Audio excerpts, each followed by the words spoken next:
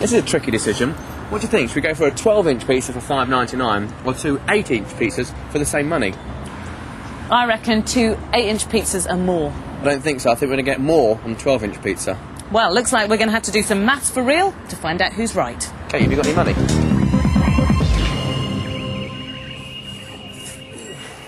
Today's programme is about calculating area. If we calculate the area of each pizza, we can work out the total area of the two 8-inch pizzas compared with the total area of the one 12-inch.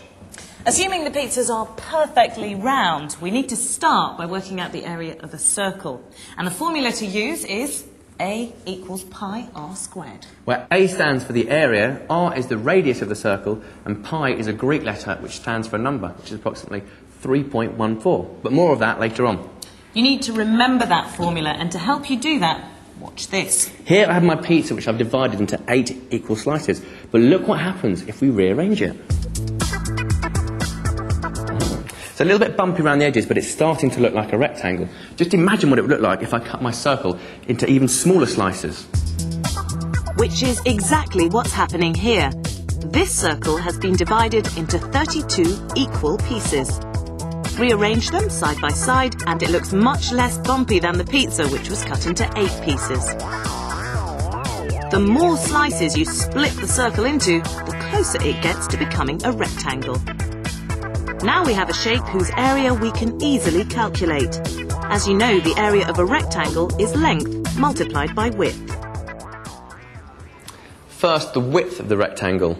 These slices here come from the original circle, so the distance here is the same as a circle's radius. What about the length? Well, these pieces form part of the original circle's circumference. So half the circumference is the top length of the rectangle, the other half is the bottom length. You should know the circumference of a circle is 2 pi r. So the length is half of that, which is just pi r. That makes the length pi r and the width r. So the area of the rectangle is pi r multiplied by r, which is pi r squared. So the area of the circle we started with must be pi r squared as well.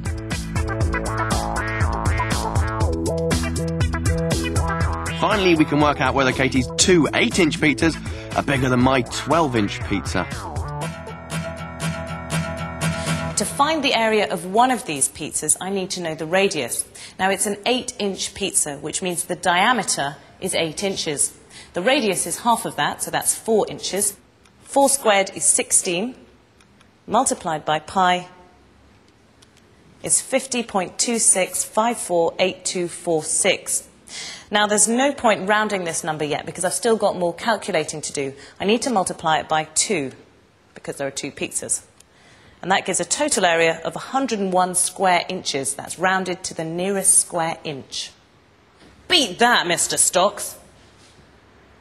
Okay, Miss Natman, I will. The diameter of my big boy pizza is 12, so the radius is 6. 6 squared is 36. And 36 multiplied by pi equals 113.097, which, the nearest square inch, is 113. So I think you'll find that's 12 square inches more pizza for the same money. Listen, Katie, don't worry about it. I knew my pizza would never be topped. Topped. Did you get it? This is one of Europe's leading drinks can manufacturers. They make over 6 million cans a day. Whichever way you calculate it, that's a shed load of cans. And believe it or not, this lot is just a small part of that shed load. Each pallet, like this one, has eight and a half thousand cans on it, and one of these little beauties comes off the production line every two minutes. The cans start their lives as a huge sheet of metal. The first step in the can making process is to stamp out a series of circles like this, which then immediately shaped into a shallow cup like this. Next, the cup is drawn out, gradually becoming taller and thinner. Then it's washed and printed before going through another machine that does this bit. That's why it's called a necker. Aluminium is expensive, so the factory needs to cut as many circles as possible from it. There are seven cutters in a row, then another row offset to fit together as closely as possible. What's left is a web of waste aluminium. This is chopped up and crushed into bales ready for recycling. But if it wasn't recycled, how much aluminium would the factory waste? To work it out, I need to calculate the area of the web. I'm going to start by working out the area of the metal left behind in this highlighted purple row. But it's easier to see what a row looks like on my diagram. A row consists of seven full circles and 14 half circles. And the dimensions of the row are 173 centimetres wide and 14 centimetres long. And 14 centimetres is also the diameter of each circle. Now, to work out the area of waste, we first need to work out the area of the rectangle before the circles were stamped out.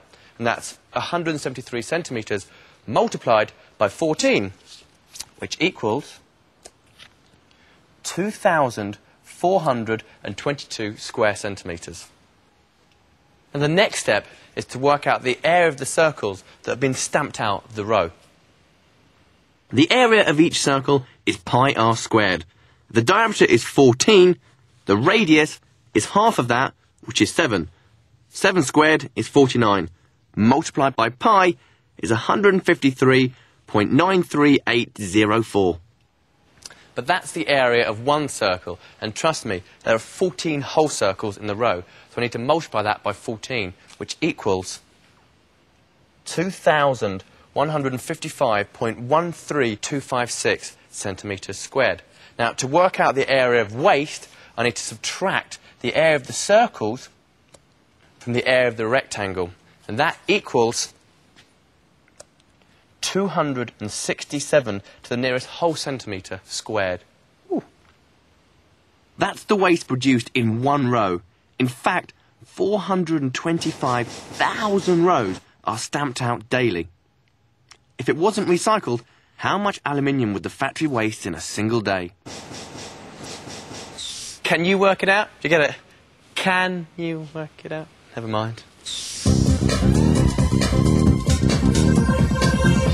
It's that time again when both Katie and I tackle the same math question, but only one answer will be right. The other will contain a deliberate mistake that you've got to spot. So watch carefully to decide if you're going to tick it or trash it. The diagram shows a circular garden pond. The diameter of the pond is 3 metres. It's surrounded by a path 0.5 metres wide. Now calculate the area of the path to two significant figures using 3.14 as the value of pi. Pens on your marks. Set. Go. Go. The diagram shows a circular garden pond. The diameter of the pond is 3 metres. It is surrounded by a path 0.5 metres wide. Calculate the area of the path to two significant figures using 3.14 as the value of pi. Started by finding the area of the pond using A equals pi r squared. The radius is 3 metres. 3 squared multiplied by 3.14 is 28.26 metres squared. To work out the area of the path and the pond, I use the same formula, but a path of width 0.5 metres on either side means the total radius is now 4 metres. And 4 squared multiplied by 3.14 is 50.24 metres squared. And to find the area of the path, I subtracted the area of the pond from this figure, and I got 22 metres squared to two significant figures. I also started by finding the area of the pond using A equals pi r squared. The diameter of the pond is 3 metres, so the radius is 1.5 metres. 1.5 squared multiplied by 3.14 is 7.065 metres squared. To work out the area of the path and the pond, I first worked out the new radius. That's 1.5 plus 0.5, that's the width of the path. So the new radius is 2 metres. 2 squared multiplied by 3.14 is 12.56. To find the area of the path, I subtracted the area of the pond from this figure. And the answer is 5.5 metres squared. to two significant figures. So, who's working slick enough to get the tick and who's going to crash out with the trash? Who made the deliberate mistake? Is Jamie right with an answer of 22 metres squared? Or is Katie right with an answer of 5.5 metres squared? Okay, the game's up. It was my answer that's wrong. I used the right formula to find the area of a circle, but my mistake was to square the diameter instead of squaring the radius. If the question gives you the diameter of a circle, you need to half it to get the radius. The other thing to remember is not to round your answers too early. Only round your answer right at the end of the calculation. Another maths textbook favourite is the shape of a running track. And that's why we're here at the Don Valley Stadium in Sheffield to check it out for size. It has two parallel straights. And two semicircular bends. For this to be an international athletics track, its dimensions have to follow very strict rules. Which means every measurement has to be just right. Each lane has to be between 1.22 and 1.25 metres wide. The white dividing lines have to be five centimetres wide. The length of one lap around the inside of the track has to be 400 metres. What you end up with is a shape like this. Mathematically, it's the area inside the track that we're interested in. To work out how to calculate its area, there are two challenges. One is to be able to spot the simple shapes it's made up of. The other is what dimensions you need to know to be able to calculate the area of the whole thing.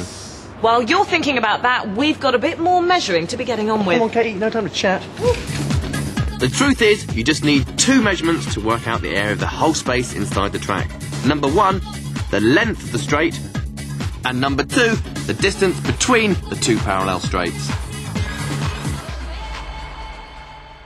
That's because the area within the track is in fact a rectangle with a semicircle stuck on either end. The length of the straight, which is 85 metres, is the same as the length of the rectangle. The distance between the two straights, which is 72 metres, is the width of the rectangle, and that's also the diameter of the end semicircles. The total area is the area of the rectangle plus the area of the circle made by the two semicircles. The area of the rectangle is length multiplied by width, that's 85 multiplied by 72, which is 6,120 metres squared. The area of the circle is pi r squared. r is the radius, that's half the diameter, which is 36. 36 squared multiplied by pi is 4071.504079. Adding them together gives a total area of 10,192 metres squared to the nearest square metre. Now we've worked that one out, what further measurement would you need to be able to calculate the area of the track that the athletes run in?